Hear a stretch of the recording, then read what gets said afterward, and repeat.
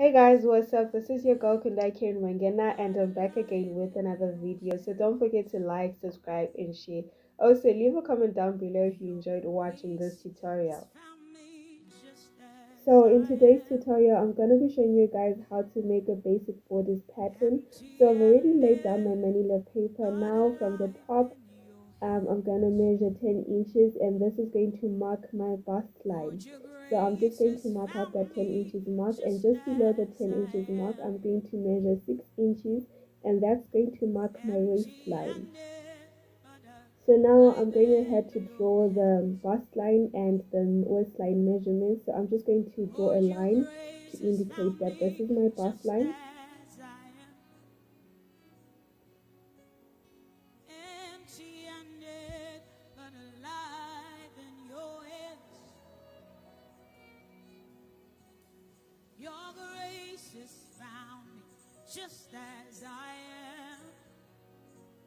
And here I will draw another line which will indicate on that mark, on that 6 inch mark, which will indicate my waistline.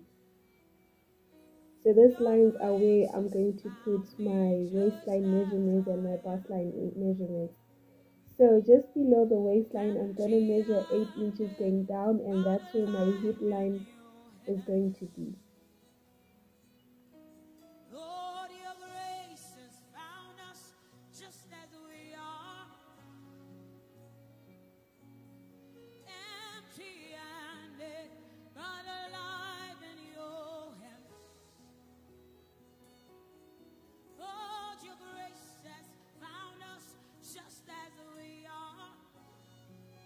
So now I'm going to be putting my measurements, my body measurements, which I'm going to be dividing by 4 because I'm doing one part.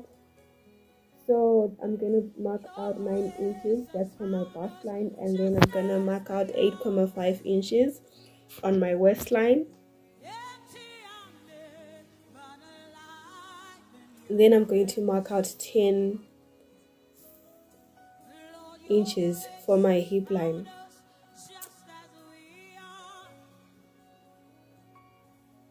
So now that I've put all those markings, I'm going to get my ruler and then just draw a line joining the two dots, the dots from the waistline to the bust line,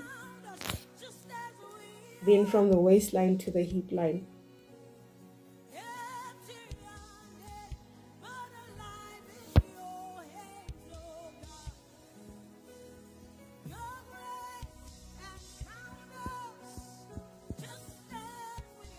I'm going to get my face ruler just to change the waistline because it's not straight.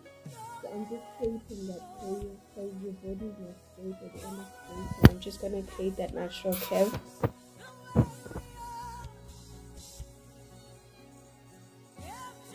So if you do not have a curved ruler, you can just go ahead to use your, your free hand. Just make sure you create a curve and it's not straight. So now that I'm done there, I'm going to go ahead and measure 3 inches on the top part. This is the neckline. So from the neckline, I'm going to measure 5 inches. We are creating the shoulder line, which is 5 inches. So I'm going to drop from that 5 inches point, I'm going to drop it down by an inch because the shoulder is not straight. So I'm going to create, i I'm going to take my ruler and join that those two points creates my shoulder line.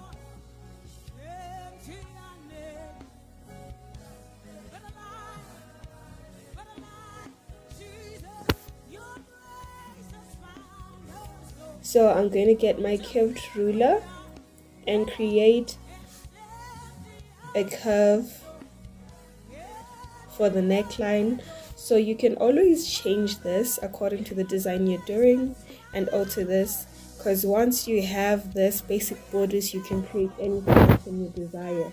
So i'm just going ahead to just mark out my lines to say that's the bust the waist and the hip line.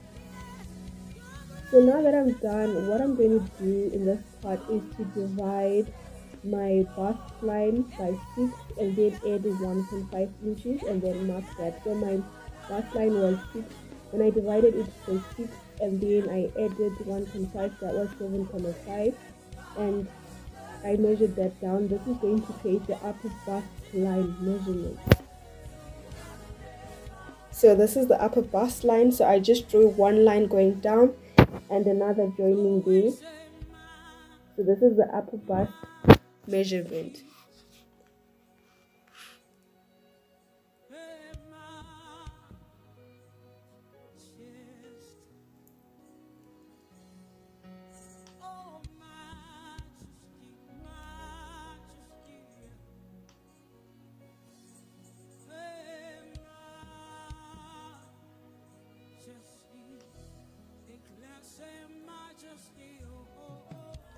So now that I'm done, I'm going to divide that measurement, that 7.5 measurement into two and on that dot, I'm going to measure one inch or one and a half centimeters inside.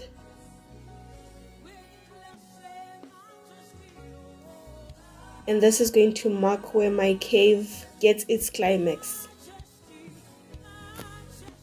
so I'm going to get my curved ruler. So before I do that I'm just going to join my upper bust to my initial bust. So I'm going to get my curved ruler and make sure that point where I marked is going to meet the top point and create a curve there and join it to the to the upper bust line.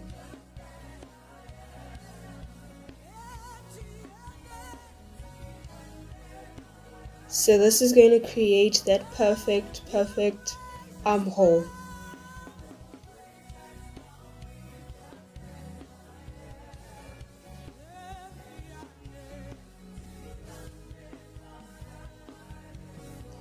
so here I was just showing you how you can add your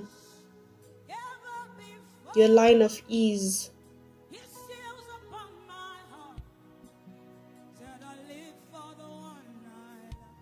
So this is an alternative thing. You can either aid this line or you can just do it when you're now constructed the constructing the garment that you desire so this is just you adding your seam line. It's optional. You can choose to do that. You can choose not to. You can choose to add the the seam line when you're now cutting out on your fabric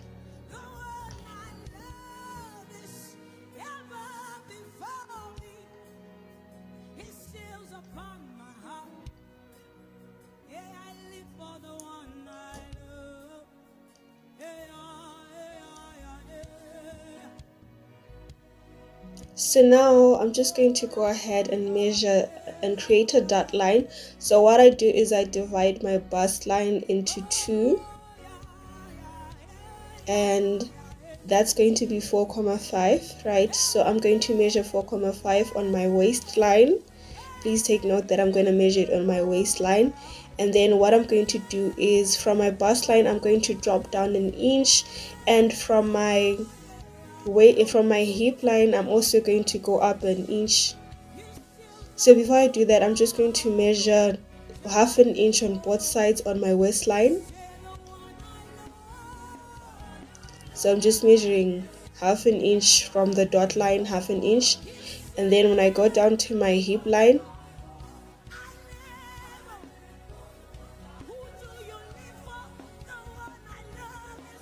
I'm going to measure two inches from my hip line so that's where my dot is going to end. So now I'm going to connect that dot that I'd measured on top to one side of the dot. So make sure that from your bust line it's one inch below your bust line and it's two inches above your hip line so I'm just going to go ahead and join those two points. So this is the dart.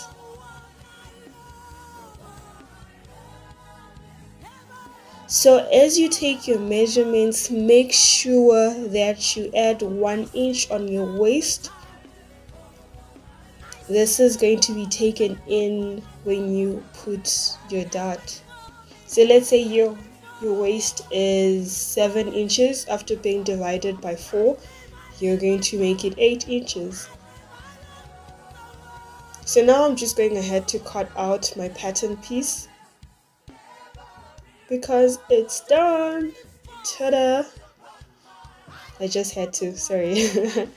So now that I'm done um going ahead to paste it down to tape it down onto my other pattern piece. So now that I've pasted it on what I'm going to do is I'm going to go on the top part of my shoulder line and measure one inch and I'm going to create a curve for the back um for the back neckline sorry I almost said armhole. So I'm gonna just create a curve because the back neck neckline is quite smaller compared to the front neckline. So this is the back part right so after that I'm just going to join it to the front basic bodice just to create that line that shows that that's the back.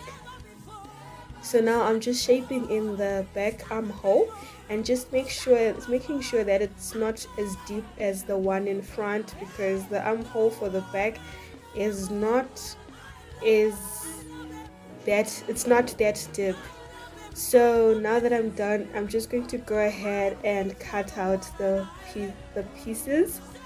And when I do that I'm going to trace all the pattern markings the bust lines the upper bust and the darts.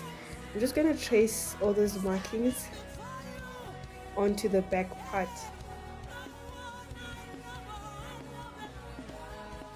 So I'm gonna I'm just going to measure an inch from the center front line throughout. I'm just going to be measuring one inch and I'm just going to mark it out. So that's going to be our zip line. So it's our zip allowance. So what I'm going to do just after cutting it out before I trace out my pattern what I'm going to do is I'm going to just fold the zip line. So that's just an inch. So that's the allowance for your zip when you're inserting your zip. So I'm just going to trace out all the pattern markings onto the back pattern. So that's going to be our back pattern